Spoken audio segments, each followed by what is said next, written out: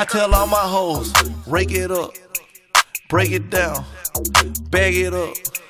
Fuck it up, fuck it up, fuck it up, fuck it up, bag it up, bag it up, bag it up, bag it up, rake it up, rake it up, rake it up, rake it up, bag it up, bag it up. Alright, the things you need to make some slime are a bowl. I'm just using this glass bowl here. Um, I'm using some Elmer's clear school glue instead of, you know, well, I don't know why I'm using clear, but whatever. Um, also, I'm going to be using the borax method for my activator. I just have it in an old school glue bottle. Um, I am also going to be using some yellow food coloring uh, I got from Walmart. Also, I did not record this part, but I'm going to be using shaving cream and also rubber bands. Alright, so first I'm going to start off by adding my glue into my bowl.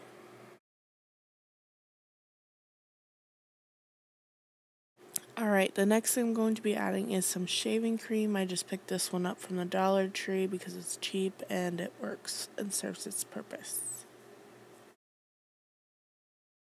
Right, and next I'm going to be adding some yellow food coloring to make it bright yellow, almost like butter. Alright, now that I have my coloring in the bowl, I'm going to mix it very well and get it evenly dispersed.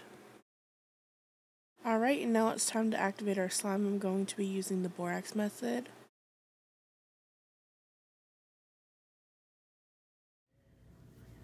Alright, now it's time to take it out of the bowl and knead it. Um, it might be a little messy at this point, and that's okay. Uh, it will eventually be perfect. As you can tell, it's a little stringy in certain spots, but you just mess with it a little bit and it'll be a lot more smoother this point, you can add a little bit more activator if it is still too sticky for you. Right, and here is my nice bright yellow slime before I added the rubber bands.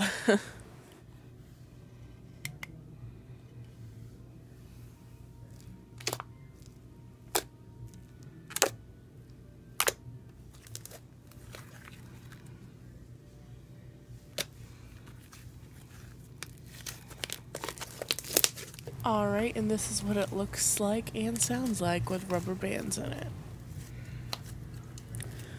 Alright guys, that is it for this video. I hope you guys enjoyed it. And if you did, don't forget to give the video a thumbs up. Don't forget to subscribe before you go. And until next time, I love you guys.